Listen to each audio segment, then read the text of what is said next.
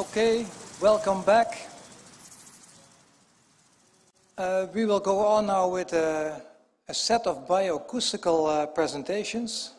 And we start off with uh, Baudewijn Odé, who will uh, tell us ev everything about grasshopper sounds on Xeno-Canto.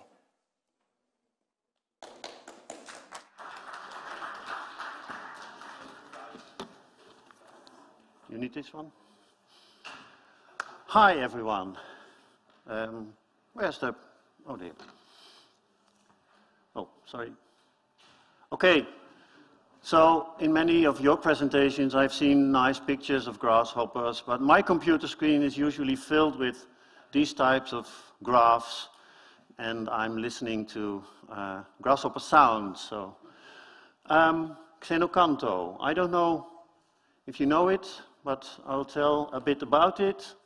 Uh, tell a bit about uh, grasshopper songs within Xeno-Canto and uh, the technical issues that we are solving uh, during this process and um, also, well, the importance of uh, maybe using Xeno-Canto uh, also in the process of conservation of grasshoppers. So first, Xeno-Canto, it's built for bird songs. And I don't know if there's any birders in, in the room, but they will use it, yes, to uh, hear recordings uh, or maybe add recordings uh, to the database. Um, so it's a really a big database. Um, and um, well, um, it, the file format is MP3 at this moment. Uh, sharing will be under Creative Commons, so uh, people can use usually these files also for other purposes. Um, and um, one important thing also, it's, uh, it has, uh, the recordings have fixed URLs, so those can be uh, reused or they can be used as a, as a reference in publications, etc. Um, so there's sonograms for birds. That's usually the case to show uh, the, sound, the song. And uh, of course, when there are um, data, uh, georeference data, there will be, they will also be on the map. Um, there's a lot of, in bird, birding, people, of, of, course, a lot of interaction um, and uh, between the experts, um, they are, well, more or less uh, making sure the data, data are okay. and there's also some mystery recordings. Of course, this is worldwide, so uh, this also includes the tropics, and there may, may be many songs uh, that are unheard by many people. So questions get solved in 50% of the cases, so that's also very good. And a few years ago, uh, also there was a routine involved to uh, upload the sound recordings to GBIF. And it's now the biggest database uh, with reference to sound recordings in GBIF. So that's also very good. Um, the website shows a lot of things like, uh, well, a map with all the, uh, where all the data are. Um, so this is only relating to uh, birds so far. Um, well, there's a lot of uh, um, uh, ideas, the number of recordings, the number of recordists um, involved, and the number of records already uploaded to GBIF. So the statistics look, at least for birds, very good. so how about grasshopper song within this system? We have started the test in 2020, uh, so that's why I already planned to have this talk about the Orthoptera species. They are now under the Orthopteriformes because many of these uh, taxonomic groups within birds are uh, like uh, formes, per, per, I don't know the, uh, the bird uh, um, names of uh, the other orders. But um, we tested uh, 30 species just to see if it works. And um, within uh, one year, already uh, 60 other people added their grasshopper recordings to the uh, Xeno-Canto database. And uh, now we have uh, 141 recordings there within this fake family. um, so you can see uh, the, the, the, the, graphic representation. So um, it's based on an MP3 format, so the frequencies are up to 15 kilohertz or something and not higher. And um, so this is one recording of Tettigonia, and you see the locality as well um, on the map. Um, okay. Um, so um, first a bit about these fixed URLs, because uh, they are really handy also for publications. So, for instance, the British Insects book um, in uh, this uh, book there are Q QR codes and you can use them. I will try this, but I'm not sure if I will be able to work this out. I have a microphone. I think. Okay, so, so it says xenocanto.org. Here, there it is. Yes, so the field cricket, QR code, and it works. So you don't need to add a, a compact disc or whatever, or a website uh, away from this book. You have uh, the recordings already in the book. This will also be used in uh, the field guide of the, of the uh, British, British, Isles, um, which should look a bit like this. This is just uh, the first uh, draft of the, of the cover of this book. It's expected now, it's a bit, a bit delayed, expected next year.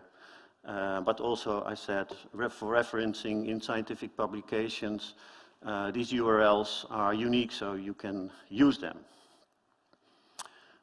Okay, some technical issues. So I already said um, it's built for bird songs, so the world bird database, uh, taxonomic database is, is there.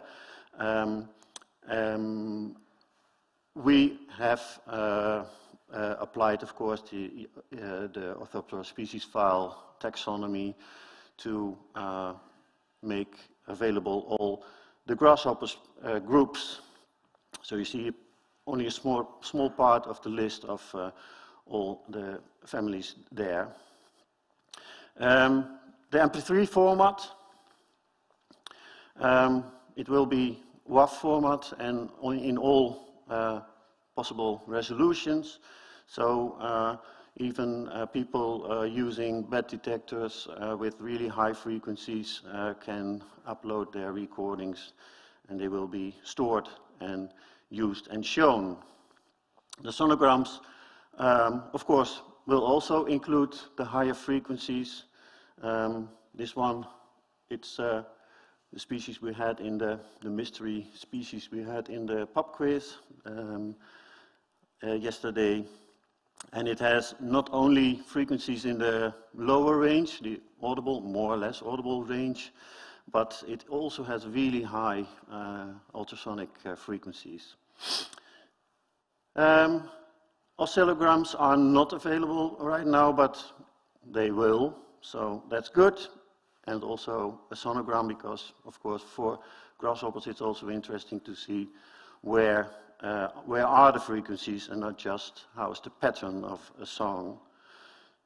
And um, of course there was a data set of metadata for uh, bird songs, but uh, this had to be altered, altered and amended to have also uh, the things that we need for grasshopper recordings available like is it a studio recording or is, it a field recording, temperature, uh, is it calling song, courtship song, etc. So there's many, uh, well, uh, good extra metadata available for the Orthoptera.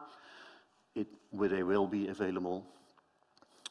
Um, so, um, I think if we start using this. We, we may raise a lot of sound recorded discs and sound recorders. I think um, the bird people and the bat people, they will join us because they already are doing this a bit. And I think this really has a, well, a great opportunity to have some cross-fertilization and uh, do some joint uh, work on grasshoppers. Maybe some grasshopper people will even start doing bats um, with the, the bat detectors that are available now. Um, and if more sound recordings are freely available, also there's a possibility to, uh, well, engage more people in Grasshopper, Grasshopper song, get more observations, and, um, well, we've seen the importance of song and, well, if we spread this uh, information more widely, it may also be more easy to find the, the, the more cryptic species um, and uh, based on the song. Okay, so, well, my main message from this is please add your recordings as far as you are recording. Um, um, you can add single recordings. Um, you can use a batch upload uh, of recordings. I will do this, I think, in a few months um, with the first batch of about 3,000 recordings of about 300 mainly European species. So uh, there will be a lot already uh, at the start of uh, Xeno-Canto. Um, but of course you can also start listening for the species you might be interested in. Um, help people with mystery songs uh, that are will become available, I suppose. um, and well, use recordings for your researches and publications. And maybe it's also interesting, there's several institutions that have collections of sound recordings and well, they are stored away sometimes really deeply. so uh, it might also be interesting to, to find projects there to uh, also get these uh, collections of sound recordings available in uh, Xeno-Canto. The same happened with the bird recording, so I, I hope this will uh, work. Um, we need to be a little bit patient because, uh, well, I, supposedly this summer uh, we will be uh, online with a new system. Uh, I will keep you informed, of course, about this. Um, and yes, uh, my final message is let's make internet more rich in grasshopper songs. Thank you.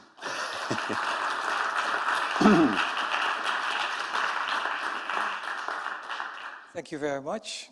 Uh, what I understood was that uh, Xeno-Canto will use the Grasshopper experiences to uh, make the database available for all nature sounds, so that will be interesting maybe also for cicadas and uh, frogs. Yes. Yes, this, this is a first step, and um, so the second step, they need some money to do this. So the second step, also financed, is uh, making it possible for uh, the bats. But I think amphibians and uh, cicadas, Heteroptera, uh, yes, there's many more families uh, that would be really interesting to uh, disclose. Yes. Any questions? Ah.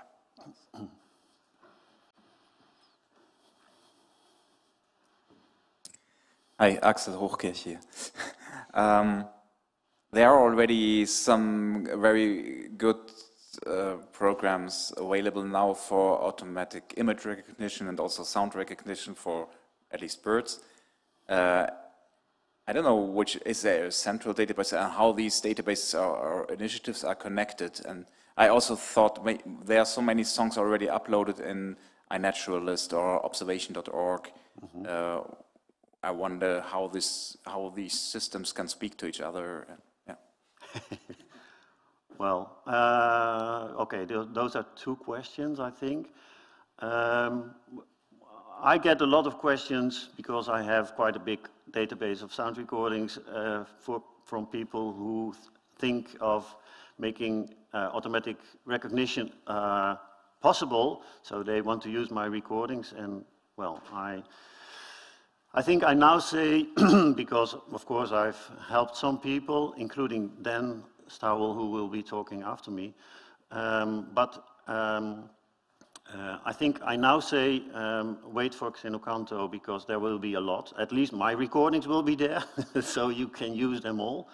Um, the second part of your question is more about, um, of course, these systems are there and they are different. I think, uh, well, GBIF would be the final uh, way of uh, disclosing all these data. So um, the orthopter data, especially, uh, well, the ones with uh, georeferencing data, will of course be also uploaded in batches to GBIF. So they will be there. Um, and iNaturalist, um, yeah, I'm, I'm not sure. iNaturalist is also going to uh, GBIF, I think.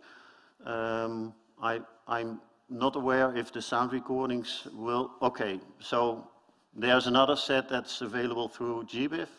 So, well, there will be at least many more possibilities to uh, gather, gather data uh, with sound recordings. One online question. Yeah. Yeah, that's a question from uh, Hao Henri. It's not directly related to Xeno-Canto, but to song recordings. He wants to to know if there is a better idea for recording flight sounds of Oedipodine. Ah, that's tricky, yes.